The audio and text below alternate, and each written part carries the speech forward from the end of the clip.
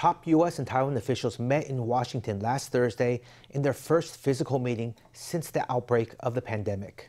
Assistant Secretary of State Michele Sison, Taiwan Ambassador Hsiao Bi-khim, and other high-level officials discussed ways for Taiwan to enter an upcoming WHO summit and the ICAO, the UN's aviation body. Observers say that Taiwan's chances are higher this year as the war in Ukraine has driven up anti-Chinese sentiment in the EU.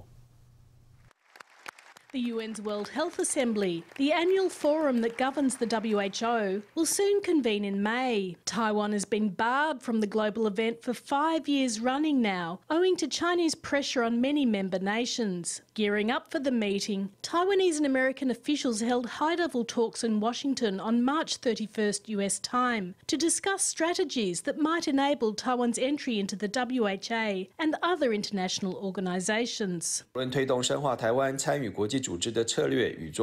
They discuss promoting and expanding strategies and practices for Taiwan's participation in international organizations. This bilateral meeting was the first physical meeting we held since the outbreak of the pandemic. Sources said the US side consisted of Michele Sison, the Assistant Secretary of State for International Organisational Affairs, two Deputy Assistant Secretaries, as well as senior APEC and AIT officials. On the Taiwan side, officials included the US representative Representative Hsiao Bi-khim, along with James Lee, the head of Taiwan's New York mission, and Nicole Su, the head of Taiwan's Geneva mission. The talks focused on Taiwan's chances of participating in the WHA with observer status and whether it could enter the UN's aviation body, the ICAO.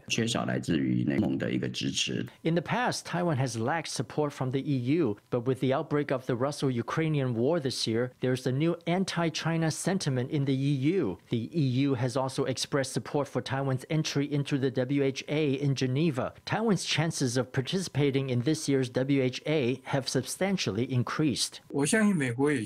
I believe that the US will also do its utmost to get Taiwan to join, but when it gets down to the time of the final vote, its allies need to be highly mobilized. Beijing will also mobilize UN members. It looks like Beijing's ability to mobilize this way is still relatively high. We can participate by joining other NGOs. Scholars have mixed opinions about whether Taiwan can take part in the WHA this year. However, in mid April, Taiwan's diplomatic ally Palau will hold the seventh Our Ocean Conference. Reports say the US has suggested that Taiwan should take part in a low key manner and that it should avoid using the nation's formal name or displaying symbols of its sovereignty. Scholars believe it is necessary to keep a low profile to avoid a tightening of tensions.